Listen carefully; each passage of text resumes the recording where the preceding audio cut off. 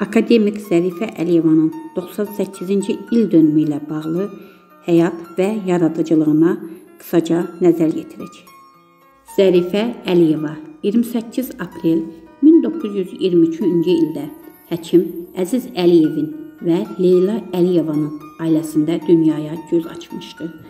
Həkim qardaşları Tamerlan Əliyev, Cəmil Əliyev və musiqiçi Gülarə Əliyevanın bacısı olan Zərifə xanım Əliyeva 1932-1942-ci illərdə orta məktəbdə təhsil almışdır. 1947-ci illərdə Nərman Nərmanov adına Azərbaycan Dövlət Tibb İnstitutunu bitirmiş, 1948-ci ildə Moskva Mərkəzi Həkimlər Təkmilləşdirmə İnstitutunda göz həkimi ixtisası üzrə kurs keçmişdir. 1950-1953-cü illərdə isə aspiranturanı başa vurmuşdur.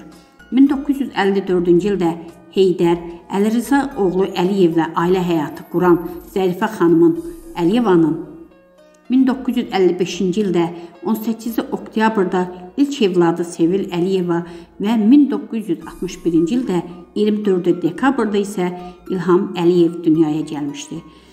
1960-cı ildən tibb elmlər namizədi, 1977-ci ildə isə tibb elmlər doktoru adına layiq görülmüşdür. 1985-ci ildə aprel ayının 15-də Moskva şəhərində vəfat edən Zərifə xanımın Əliyevanın cənazəsi 9 il sonra 1994-cü ildə Moskvadan Bakıya, Fəxri xiyabana Əziz Əliyevin yanında dəfn edilməsi üçün gətirildi.